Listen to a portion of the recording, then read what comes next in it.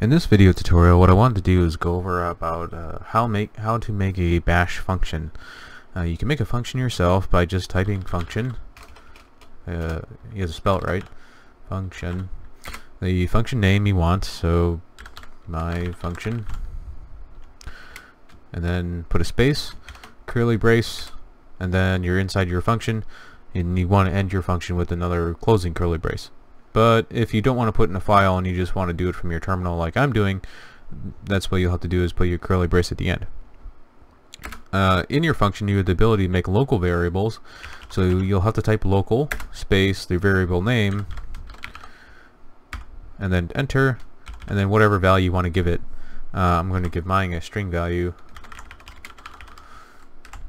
And I'm going to hit enter again and what I'm going to do is just uh, echo that out and this uh, the programming language in bash is pretty similar to PHP if you're similar uh, familiar with that. Um,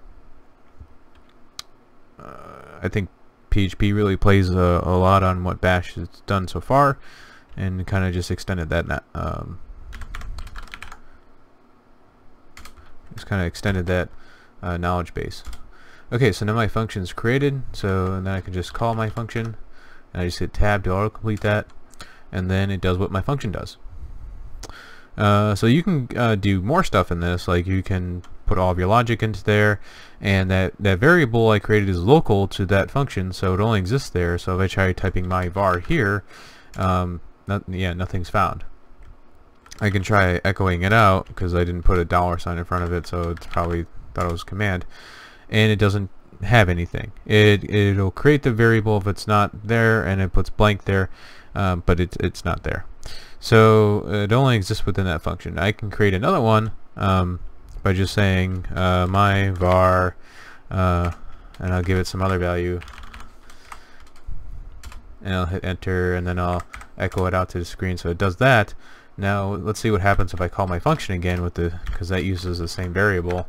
Let's see if it gets confused or not. It doesn't. There's a difference between the local variable and the variable I just created.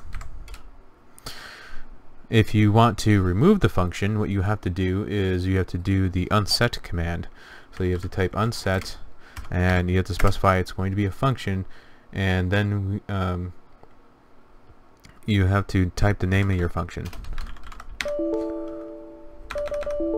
My function.